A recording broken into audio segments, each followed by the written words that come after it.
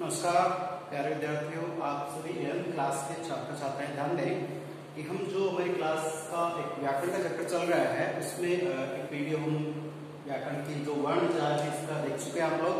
तो अब उसके नेक्स्ट जो वीडियो अपना है पॉइंट अपना है, ये देखिए, इसमें हम बात करते हैं वर्ण विचार तो स्वर और व्यंजन हमने पढ़ लिए हैं, स्वर की डेफिनेशन पढ़ ली है। और व्यंजन का भी उसके अपोजिशन देख लिया है कि वे वर्ण जो स्वैत है मुख से उच्चरित स्वयं उच्चरित होते हैं। ठीक है? यानी बिना किसी अन्य वर्ण की सहायता से बोले जाने वाले वर्ण स्वर कहलाते हैं और यदि किसी, कोई वर्ण तो स्वर की सहायता से बोला जाता है, व्यंजन कहलाता है। और स्वर व्यंजन की बात कर रहे थे तो बात कर ले पहले स्वर की। तो हालाँकि लास्ट में मैंने आपको बताया था कि जो स्वर है हास्य की बात कर चुके हैं, लेकिन यहाँ पर एक बार देखना है कि उच्चारण की अवधि अवधि मात्रा, यानी मात्रा का समय की बात कर रहे थे, आधार पर जो स्वर कितने प्रकार के हैं तो हर्स्व दीर्घ और प्लुप्त है। इसमें थोड़ा होनी है हर्स्व ठीक है? ज़्यादा नहीं बोल हर हर्स्व हर्स्व रे कम बोलना है।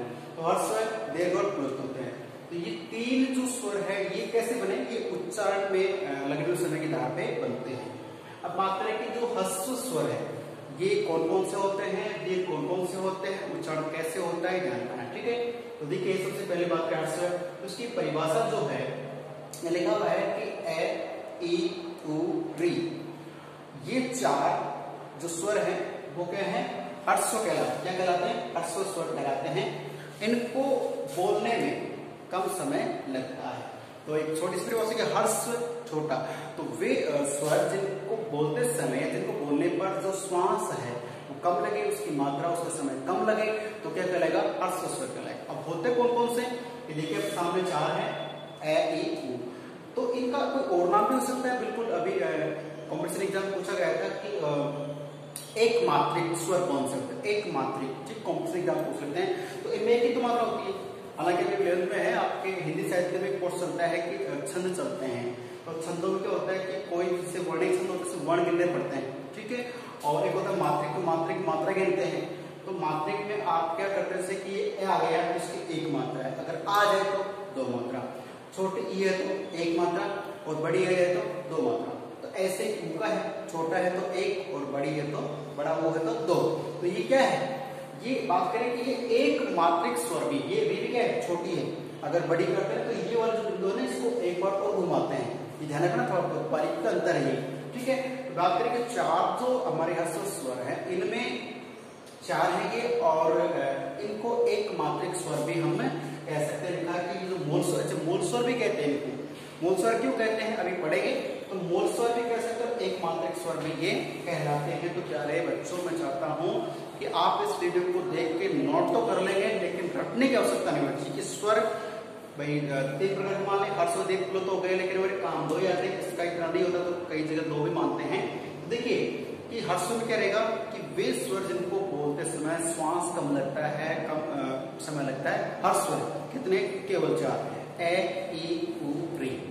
आराम से बोलना है। इनको मूल स्वर भी कहते हैं, इनको एक मात्रिक स्वर भी कहते हैं। ठीक है?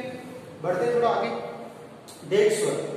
अब इसमें देखिए दीर्घ, आप जानते हैं कि हर स्वर में कम लग रहा है तो इसमें क्या होगा? दुगुना समय लगेगा। ये ध्यान रखना है कैसे?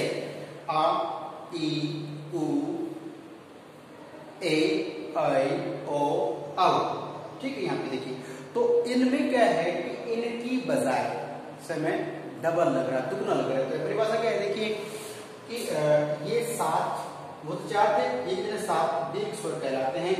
क्यों कहलाते हैं? इसमें इनको बोलने में हर्स्व से क्या होता है कि हर्स्व स्वर से दुगुना। दुगुना नहीं डबल लग रहा है। जहाँ पे मैं एक मान लो तीन सेकंड लग रही है तो इसमें छह लगेंगे ध्यान रखना है। दुगुना समय लगता है। ठीक है? और एक अच्छी बात ये भी चौथी करने वाले को कि इन जो दीर्घ स्वर है, इनको हम किस किस नाम जान सकते हैं? इन्हें संयुक्त स्वर भी कह सकते हैं। अब संयुक्त क्यों कहेंगे? संयुक्त का मतलब होता है कि जैसे दो व्यक्ति या दो वर्ण या दो कोई भी दो मिलते तो संयुक्त हो जाता है, जुड़ा हो जाता है। ठीक है? तो इनको संयुक्त स्वर भी कहा जाता है। कारण क्या है? देख लेते हैं। इसी बात करें हम किसा भी बनते हैं। कैसे? देखिए, ए जो है, ये अश्व स्वर इसमें समय कम लग रहा है। लेकिन बात कर ले कि एस में अगर वापस ए मिलाते हैं तो क्या बन जाएगा? आ बन जाएगा। तो एक बार इसका समय तो इसका, फिर ए जोड़ेंगे तो इसका समय दुगना हो गया। ए धन ए ठीक है बन जाएगा? आ बन जाएगा। तो दीर्घ हो गया। फिर बात करें ई की तो ई में क्या जोड़ेगा? ई वापस जोड़े इसमें हो जाएगा बट ई हो जाएगी आपने संधि पढ़ी दीर्घ संधि कोई बात यहाँ पर है तो ये दुगना हो जाता है दीर्घ संधि फिर इस ऊ में हम वापस यही वाला, छोटे वाला है जोड़े, बड़ा नहीं जोड़ेंगे? ये तो हो जाएगा ये बड़ा है। इनमें यही अक्षर दोबारा से जोड़ते हैं, ये वन जोड़ते हैं तो एम ए आर ई में ई ई ओ में ओ जोड़ा ये बड़ा। बन गए अरे, यहाँ तक तो ये ठीक है। ये थोड़ा मामला अलग है, ये क्या है मान लीजिए कि ए में आप ई को जोड़ देते हैं तो क्या हो जाएगा हमारा ये ए हो जाएगा। ठीक है? अब क्या है कि हम क्या करें कि ये हमने जो जोड़ा है, इसके बाद क्या करेंगे? इस ए में क्या जोड़ेंगे? हम जोड़ेंगे इस ए को जोड़ देंगे। तब तो जगह आगे बढ़ जाएगा। ए में ई जोड़ने पर ए बन गया और इस ए में ये ए जोड़ देंगे। प्लस करें, धन करें योग करें क्या हो जाएगा आई बन जाएगा। ठीक है? उसके बाद बात करें कि ये जो ओ है, ये कैसे बना है? तो ए में हमने क्या जोड़ दिया है? ये उ जोड़ दिया क्या जोड़ दिया? ए में उ जोड़ा। तब क्या बन गया? ओ बन गया। लेकिन फिर औ कैसे बनाए? तो वही बात इसी तरह, इस ए में ये औ को जोड़ दो ओ को तो क्या हो जाएगा? औ बन जाएगा। वापस समझ लीजिए ए में ए धन किया, आ ई में ई धन किया ई उ में उ धन किया बढ़ाओ। अब ए में ई हमने मिलाया तो क्या हुआ? ए। फिर ए में क्या मिला देंगे? ये ए मिला देंगे तो आई। फिर बात करेंगे ए में ओ मिलाएँगे तो ओ। और फिर इस ए को इस ओ से मिला दो तो औ बन जाएगा। तो ये क्या है? ये इनसे संयुक्त हो गए लेकिन ये यहाँ तक तो मामला ठीक था इनका तो तीन था। लेकिन ए आई ओ औ इनके बारे में कुछ लिखा मैंने, आगे ध्यान दें, कि ए आई ओ औ ये क्या है? संधि स्वर कहलाते हैं। इन्हें संधे अक्षर भी कहते हैं। ठीक है ना? तो ये संदेश्वर क्योंकि ये जिस तरह से इनका मैंने आपको मैथ बताया विज्ञान बताया है उस हिसाब से संदेश्वर भी कहता है। लेकिन ये बातें जो हैं बहुत बड़े लेवल की बात हो जाती है। किसी कॉम्पिटिशन एग्ज़ाम के लिए। आपको बस इतना ध्यान रखना है कि हास्वस्वर देख स्वर क्या होते हैं, परिभाषा क्या होती है, कैसे इनको पढ़ा जाता है, ये हमारा हो गया अब छोटी सी बात कर ले कि प्लुत क्योंकि अक्सर क्या होता है, किसी गाइड में तो फिर मिल जाता है। पढ़ाते समय क्या होता है टीचर कभी दो काम आते हैं और मैं इसी को पढ़ लेते, आगे बढ़ जाते हैं। पर को पढ़ते नहीं है। जानकारी अवश्य होनी चाहिए, क्योंकि आपका जो ये क्लास है, ये जो उम्र है, ये सीखने की उम्र है, ठीक है? ध्यान में क्या होता है कि जितने भी स्वर होते हैं देखा भी सब स्वर है ना ये चाहे हस्व हो दीर्घ हो, प्रत्येक स्वर अपने आप में प्लुत होता है। कैसे होता है? देखिए, कि अगर इसी ए को, जैसे आप जानते फ़िल्म संगीत होता है, गाने वाने होते हैं, इसमें रिदम लेते बहुत लंबी लेते, कान के हाथ लगा लेते, ऐसे कुछ बोलते, कोई वज़न कीर्तन कर रहे हैं तो स्वर होते, व्यंजन होते इसमें बोलते ना तो बहुत लंबा लेते हैं। तो वो क्या होता है? प्रत्येक स्वर अपने आप में फलोत होता है। अगर उसको कैसे से तिगुना बोला जाए। यानी कि यहाँ पे सिंगल है डबल है इसमें तीन गुना? तीसरा पॉइंट तीन गुना। कहने का मतलब है इसी स्वर में अगर तीन गुना समय लग रहा है उपलब्ध हो सकता है। अब कौन कौन से कम यूज़ करते हैं, वो उसके आधार पे डिपेंड करता है। ठीक है, उससे कविता के आधार पे, उससे वार्तालाप, संवाद के आधार पे निर्भर करता है।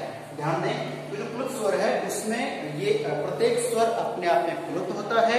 यदि उसकी ध्वनि, उस वर्ण को हम लंबा लेते हैं तो उसमें समय की गुना लगता है और देर में दुगुना दीर्घ दय दुगुना प्लुत तय तिगुना, सौ ट्रिक बनती है और हर स्वर छोटा है तो एक सिंगल मात्रा और वह है बात करें पुलुत में, इसमें तिगुना समय लगता है, प्रत्येक स्वर अपने आप में पुलुत माना जाता है। और इसका मैंने एक ब्रेक यहाँ पे आपको एग्ज़ाम्पल दिया है। ओ ओ और मैं लिखा है। और एक सौ ट्रिक याद रखना कि यदि कहीं बीच में ऐसा ही लिखा हुआ आ जाता है तो पुलुत स्वर में ही जाता है। और इससे ऐसे बोला जाता है। इसमें ओम बोलते हैं ठीक है, हालाँकि जो ओ होता है, किसी भी गाने में हम ओ बार बार कर रहे हैं, ज़्यादा लंबा है तो ठीक है पुलुत में चला जाता है, ठीक है? तो ये पुलुत का भी हम पे हम ज़िक्र कर चुके हैं। और लास्ट में आपने, क्योंकि हम बारह कड़ी से ज़रूरत करते हैं, जिससे आप एल के जी फ़र्स्ट सेकंड क्लास पढ़े होंगे, आप इनके तो पहले ऐसे लेके फिर, ए, आ, ई ई, उ उ, ए, आई, ओ, औ, अंग ए है। दो बचे कौन सा? तो ये जो दो मैंने लिखा नीचे आपको दिख रहा होगा, ध्यान देने से, अंग ए है। की बात कर रहे ये जो दो हैं, इनको क्या कहते हैं? कई स्वर में है? कई बार पूछते स्वर लिखो तो पूरे पूरे मतलब लिख देते हैं तेरह ग्यारह है दो एक तेरह हो गए सब। तो ये स्वर नहीं है। स्वर है ही नहीं, माना नहीं जाता व्याकरण स्वर तो फिर क्या है? इनको बारकड़ी में प्रयोग किया जाता है, अंग है, पढ़ा जाता है। लेकिन ये है क्या? पूछ ले व्याकरण के हिसाब से क्या कहेंगे? ठीक है भाई हस्वर हो गया, दीर्घ हो गया, प्लुत हो गया। प्रत्येक अपना अपना कोई स्थान है, वो जगह है, इनकी जगह क्या है? कहेंगे ये अयोग वाही वर्ण कहलाते हैं। क्या कहलाते हैं? अयोग वाही वर्ण कहलाते हैं। हालाँकि ये अनुस्वार भी बोला जाता है और इसको हम संस्कृत की विषय में बहुत अधिक प्रयोग करते हैं। ठीक है, आपने पढ़ा, सुना, देखा होगा। लेकिन व्याकरण जो हिंदी का, उसमें इनका जो स्थान है, इनका जो घर है, इनकी जो जगह है, वो क्या है? अयोग वाह है। ये कहलाएँगे। अयोगवा है ये। ठीक है, दोनों वर्ण। और अयोग वाही अगर कुछ कौन से वर्ण है तो अयोगवाही वर्ण इनको बोलेंगे। ठीक है? मुझे लगता है कि अपनी जो मीठी सी क्लास है, इसमें आपको कोई परेशानी नहीं होनी चाहिए। आप प्रत्येक चीज़ को ठीक से देख लें, समझ लें, और फिर जब मैं आपसे कभी पूछता हूँ तो आप भी इसी अंदाज से मुझे उत्तर दें। तो मेरा जो, भाई, मुझे लगेगा कि मैंने बहुत अच्छा पढ़ा दिया और आपने बहुत से याद किया है। ठीक है? चाहे मैं कितना ही अच्छा है बुरा पढ़ाऊं जब तक आपसे रिस्पॉन्स नहीं आएगा, तब तक मेरी पढ़ाई सफल नहीं मानी जाती, ठीक है? तो प्यारे छात्र छात्राओं ये व्याकरण का एक शुरुआती दौर है, जिसके डेफिनेशन में बता दी है, पहला पॉइंट हो गया है।